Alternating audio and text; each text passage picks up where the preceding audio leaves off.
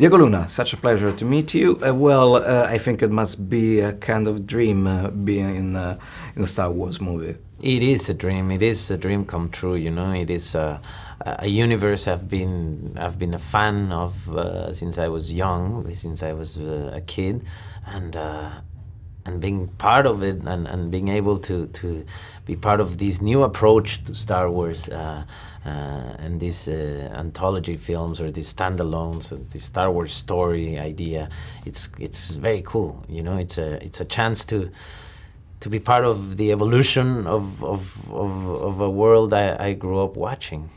Uh, someone says said some sometimes uh, you say you want a revolution that this is the this is the occasion to have a revolution in Rogue One. I think it's uh, even uh, quite interesting the fact that it's also a political movie in some ways. Well, I, I, I don't know if a political movie, but uh, I definitely say a movie that that that, that uh, sends the right messages. You know, I think. Uh, and uh, and Star Wars has been always about that. Uh, this film talks about a, it's a, the dark side, the dark moments of the of the of the galaxy. You know, the darkest moments of the galaxy, and this is, there's no Jedi's around. There's no one that's gonna come rescue you.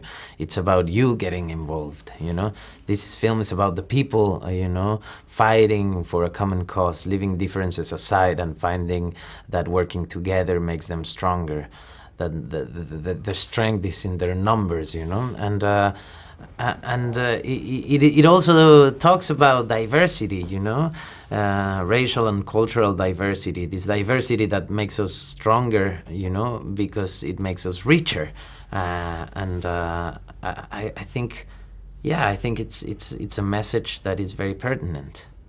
So you played in a Star Wars movie but now maybe in the future you could direct one.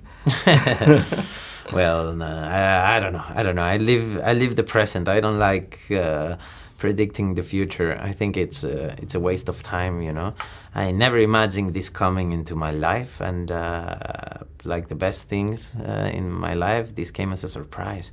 So I'll be patient and let whatever needs to happen happen, and I'll just enjoy the moment. I'm um, an actor in a film I care about as a fan. So that's pretty special.